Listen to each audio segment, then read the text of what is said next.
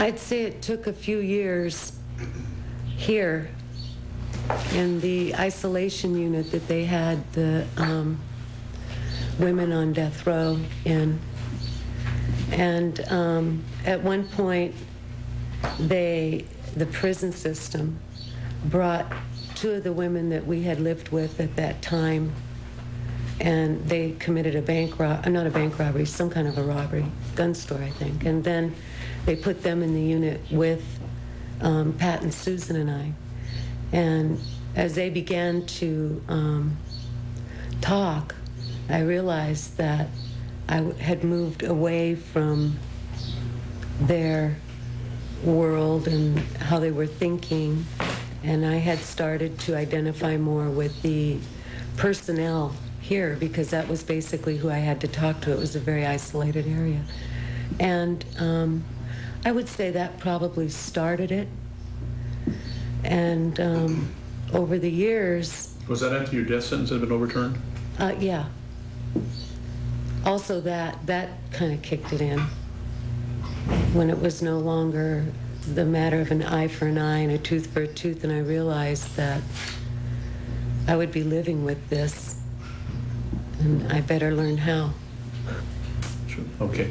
Well, there, there may be other questions from the other commissioners. I'm going to move on and just talk a little bit about your prior criminal history. And you had uh, several arrests. Uh, it seems like they all started in 1969. They were all, all of my arrests were um, at the time that I lived with um, Charles Manson Okay, yeah, they were all somehow related. Uh, to the group. yes, exactly. I noticed that in 19, in April of 1969, you had been arrested for a grand theft auto.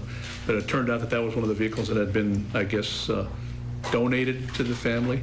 I think it was. Maybe, maybe. What, Okay. what the uh, local police would do is come and arrest all of us in hopes of weeding us out, and then we wouldn't be arraigned. Well, So there were several arrests for a grand theft auto. At least there were at least three. Uh, one in April, one in August, and one in October of 1969. All three of them for grand theft auto. Uh, there were no charges, or you were released on the first one, no charges on the second one. Uh, then there was no disposition shown on the third one. And you also had an arrest in September of 1969, and that was for for burglary. But really, what in essence it was is you'd gone into a store to use a stolen credit card. yes, Um, do you know where that credit card came from? it came from a burglary. Okay, had you been in part of that burglary? No, All right, you just knew that it was a stolen card? yeah. Okay, and you got it from whom? Um, Nancy Pitman had it, and I'm not sure exactly where it had come from. So from, from what I'm hearing you say, and from what, all that we've, that we've read, uh, this family that Mr. Manson talked about was really kind of a criminal group. It was kind of a gang of, of, of criminals. And you sustained, sustained yourselves by going out and stealing and uh, uh, robbing? In the beginning, it was more of a uh, communal in the sense of the 60s. In the winter, early winter of 69, um, that's when Manson began to take on a more ominous tone. Up until then, there weren't burglaries, there weren't the um, little games he'd set up of us trying to sneak up on each other and um, uh, preparation for the revolution. In the beginning, it was uh, that he was a Christ figure, if not Christ, and we uh, lived in a different way like that. So it, it, it escalated into exactly what you said. It became a criminal enterprise almost. It became a gang of, of uh, We weren't together enough. At one point, at one point when he realized how devoted each of us were, then he tried to set up like a prostitution, and that didn't work because we were um, a little too far out on the drugs. And I was playing hide and seek with elves in the woods and all of that, and and I think that if he could have probably exploited us in a different way, it might have gone there. So you mentioned the drugs, and I wanted to get to that very briefly. On the night of the crimes, you were not uh, under the influence of drugs, but you were using psychedelic drugs quite a bit during that Yes. period of time? Uh, Acid? Yes. LSD? Would you use anything else, any stronger drugs, cocaine, heroin? No, It was No. primarily marijuana? Uh, LSD and um, marijuana, hashish, Okay, those are the things. now and then a little bit of methamphetamine, but mainly LSD. Okay.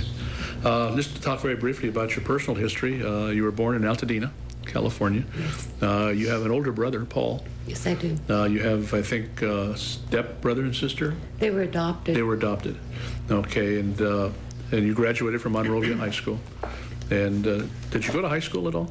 Yes, Did you, I'm, I'm not, I don't mean high school, I'm sorry, college. Did not college? until, not until I came, oh, I went to a year of business school. Okay, and that was the only schooling that you had? Yes, Uh, Were you ever married? once in here. And that was it? Yeah, And that's ended in a divorce? yes, it did. So you have no children? No, I do not. No. Leslie Van Houten, that was a 1998 parole board hearing, and again tomorrow, her 14th time before the parole board, her 13th time requesting her freedom. I think uh, the, I don't really, wouldn't take a parole anyway, not really. I'm thinking, uh, you know, I'm here, we're going through the changes of it, but uh, I would like to go back to court. I'd like to get my chance, my day at court. Charlie Manson may say he doesn't want parole, but tomorrow, former Manson follower Leslie Van Houten will be back before a board of commissioners asking that she be let out of prison. Playings of Leno LaBianca and his wife Rosemary LaBianca. For those murders, Van Houten was sentenced to death. When the death penalty was found to be unconstitutional in California, her sentence was commuted to life with the possibility of parole. In anticipation of Van Houten's latest bid for parole tomorrow, we're reviewing her last attempt. And as we return to that hearing, Van Houten is being questioned about her activities in prison. Last time you appeared before the board was April 20th, 96.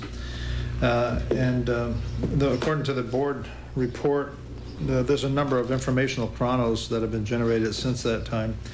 Uh, Thanking you for uh, being a tutor, and yes, I can too, and Voices Within project, and uh, then you were assisted uh, in the AANA banquet, and uh, uh, CODA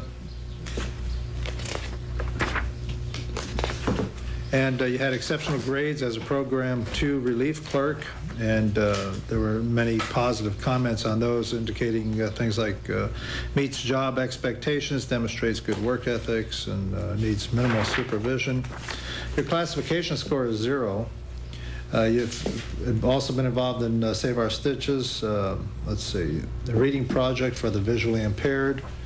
Uh, You've been involved in group psychotherapy. You've completed electronic data processing. Now, was that since the last time? No, I completed that um, before this last, in 96, I had already completed it. Okay, because I'm, you were in word processing, and then I thought. No, I it- was in data. Oh, you were in data? Yeah. Okay, then you went to They, this. well, they had um, software packets of Word. Oh, I see. Yeah. Okay, and that was prior to 96? Yes. Okay, yeah, and I saw the completion certificate in there.